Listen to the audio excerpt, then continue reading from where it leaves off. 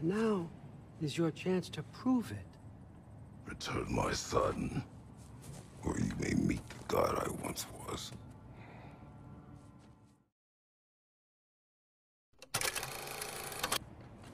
Where is everyone?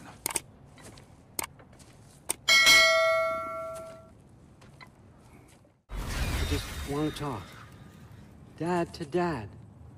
Speaking of which, imagine my surprise when Atreus came knocking at my door. He's doing well, by the way, and will continue to do so just as long as I return to Asgard sometime soon. Besides, our friend here has a has a whole lot to live for. Arguable. Run along now, but behave yourself. You sp- never much cared for Brok. but Can't deny the dwarf's talent. You came to speak. Speak. You don't really want war.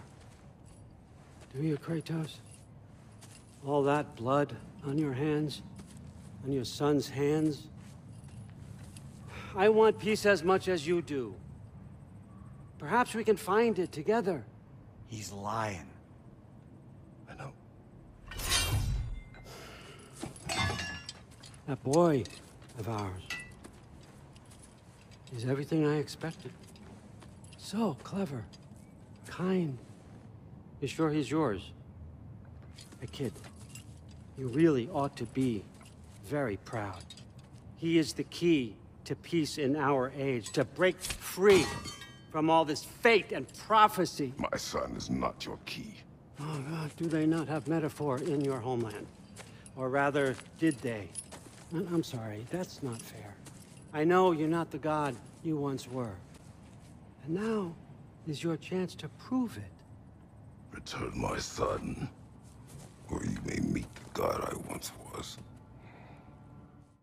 And what kind of god is that, Kratos?